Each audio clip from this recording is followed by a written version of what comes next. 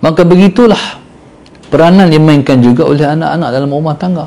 Ini semua persediaan untuk kita balik bertumpat-tumpat dengan Tuhan anak-anak kena berjuang sekuat-kuatnya untuk setiap orang bertempat di hati mak dan ayah. Mak ayah ni ada anak-anak ni yang kalau suruh mudah. Ada anak yang suruh susah. Allahumma salli ala sayyidina ada anak-anak yang mak ayah jarang suruh. Ini bila mendewasa lah. Kecil-kecil boleh suruh salah Sayyidina Muhammad. Boleh marah. Bila mana dah besar dah rumah tangga ada anak pinak salah Sayyidina mak-mak telefon. Boleh balik dah abang ni?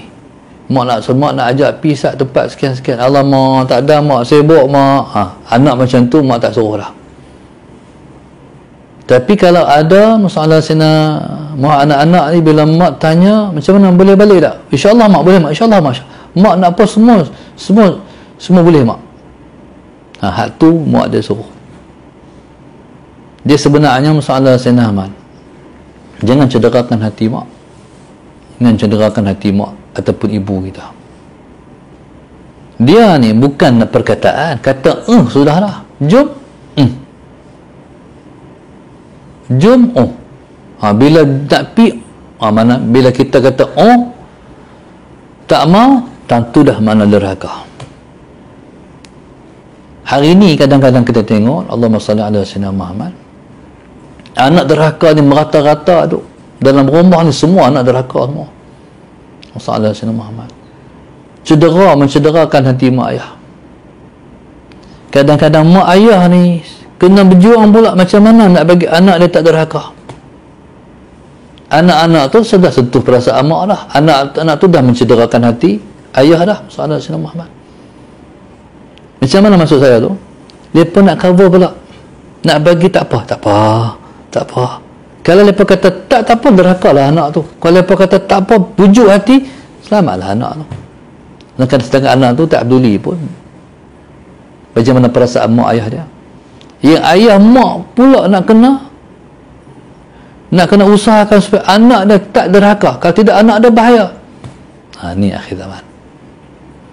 Allah sayyidina jadi bila mana kita bercakap tentang mati persediaan untuk balik bertemu dengan Allah Subhanahu wa taala Allahumma salli ala sayyidina Muhammad maka jadikanlah kehidupan ini semuanya dalam konteks rumah tangga ke dalam konteks apa segala ke masalah sini semua ialah modal untuk kita balik bertemu dengan Allah subhanahu wa ta'ala.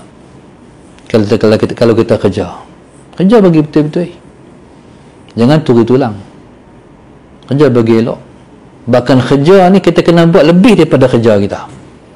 Kerja kita sekat ni ya masalah sini tapi kita buat lebih lagi. Jadi buat lebih itulah akan mendatangkan keberkatan Orang balik dah. Kita dah buat kerja lagi. Allahumma salli ala sayyidina Muhammad. Ha, tapi jangan sampai kerja kita sampai mengorbankan rumah tangga. Ada orang subhanallah masalah nak buat balik kerja di rumah. Kerja rumah ni dia kena bagi hati dia kepada suami dia. Di rumah dia kena bagi masa daripada anak-anak dia. Ni duduk kerja juga. Allahumma salli ala sayyidina Muhammad jangan terkurang memberi hak kepada keluarga. Jangan terkurang memberi hak kepada orang lain. Allahumma salli ala kadang-kadang kita kata masalah ini bukan untuk ini untuk di untuk keluarga juga. Masalah Sina Muhammad kata untuk keluarga juga. Fahamnya? Dengan kerja di rumah lah. Hak ni sumber sumber pendapatan untuk keluarga juga. Ya. Tapi jangan lupa masalah Sina Muhammad. Setiap ahli keluarga kita ada perasaan Allahumma salli ala sayyidina ada perasaan. Perasaan macam mana?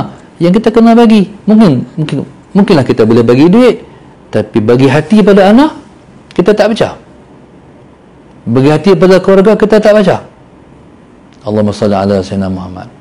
Maka subhanallah maka jadikanlah semua bidang kehidupan kita adalah persediaan untuk kita balik jumpa dengan Allah subhanahu wa ta'ala.